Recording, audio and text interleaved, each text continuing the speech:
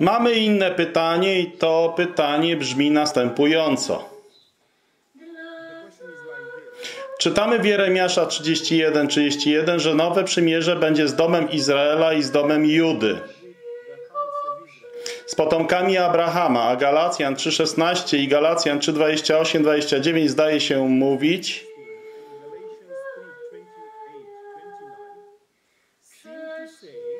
że my, wierzący z pomiędzy narodów, jesteśmy dziedzicami tych obietnic, bo jesteśmy nasieniem Abrahama przez Chrystusa.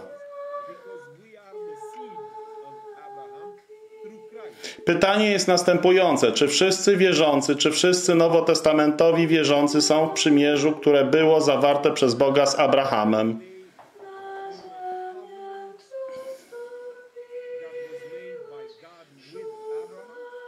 Jeśli to jest niebiblijne rozumowanie, to jakie praktyczne konsekwencje albo gdzie taka doktryna prowadziłaby, jeśli trzymalibyśmy takie rozumienie?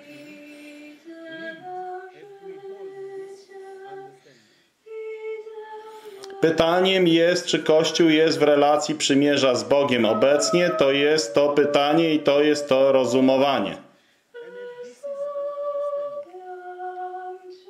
Nie. Znowu trudne pytanie. Tak, to nie jest łatwe. Nie jest łatwe, ale jest powiedzmy istotne dla nas dzisiaj. To jest istotne. Przymierze to rodzaj kontraktu, umowy, którą się zawiera.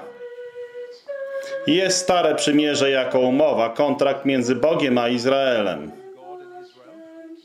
Izrael miał pewne zobowiązania i złamał kontrakt, złamał umowę, złamał przymierze, umowę, kontrakt. Wtedy Bóg im obiecał, zawrę z wami nowe przymierze Izraelu i Judo, nowy kontrakt, nową umowę.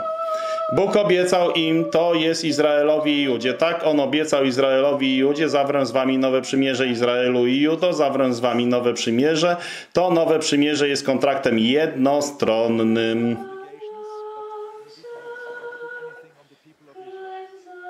Księdze Jeremiasza 31, 31 jest wyraźnie napisane zawrę nowe przymierze z domem Izraela i z domem Judy. Nowy kontrakt, nowa umowa z Izraelem i z Żydami.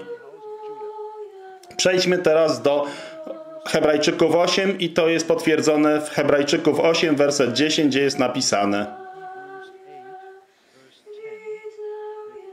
Bo takie jest przymierze, które zawrę z domem Izraela i z domem Judy po tych dniach, mówi Pan.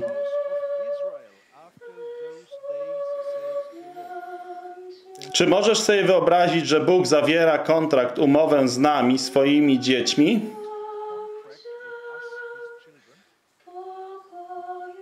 Zawieramy umowy, kontrakty z naszymi partnerami biznesowymi, ale ja nigdy nie zawarłbym kontraktu, przymierza, umowy z moim dzieckiem. Tak więc nowe przymierze jest dla Izraela i Judy. Bóg uczyni to przymierze w przyszłości, w tysiącletnim królestwie, w milenium. Czy teraz jako chrześcijanie, jako Kościół mamy coś wspólnego z Nowym Przymierzem? Skoro przymierze nie jest zawarte z żadnym chrześcijan, nie tyczy się relacji z Kościołem, to czy mamy coś z tym wspólnego? Nic. Krew Chrystusa, którą On przelał, jest krwią nowego przymierza, jakie będzie zawarte z Izraelem i Judą. Paweł w drugim liście do Koryntian w rozdziale 5 nazywa siebie sługą nowego przymierza. Jest pewna relacja, którą jako chrześcijanie, jako Kościół mamy do Nowego Przymierza, które będzie zawarte z Izraelem i Judą. Relacja ta jest następująca. Błogosławieństwa, które są, które Nowe Przymierze obiecuje w przyszłości Izraelowi i Judzie są już teraz dostępne dla nas.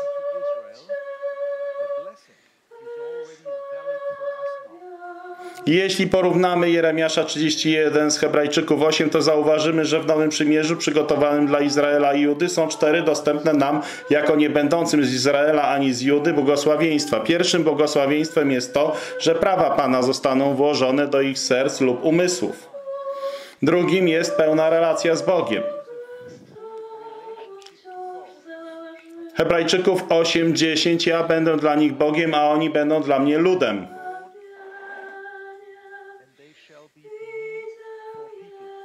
Trzecie błogosławieństwo to pełna znajomość Boga. Werset 11 mówi: Poznają Pana, ponieważ wszyscy poznają mnie w sobie. Czwartym błogosławieństwem jest pełne przebaczenie, werset 12. Verse 12. Będę miłosierny dla ich niesprawiedliwości, a ich grzechów i ich bezprawia już nigdy nie będę pamiętał. Będą cztery błogosławieństwa Nowego Przymierza dla Izraela i Żydów w tysiącletnim królestwie. Ale my już skorzystaliśmy więcej niż z tych czterech błogosławieństw. Antycypujemy w nich, to znaczy mamy je przedpremierowo. Prawa Pana są w naszych sercach. Cali narodziliśmy się na nowo.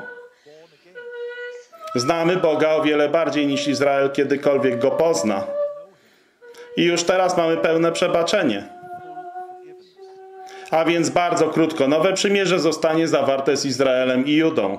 Ale daleko większe błogosławieństwa od tych z nowego przymierza są błogosławieństwami, którymi my, jako Kościół, jako chrześcijanie, już teraz możemy się cieszyć dzień po dniu.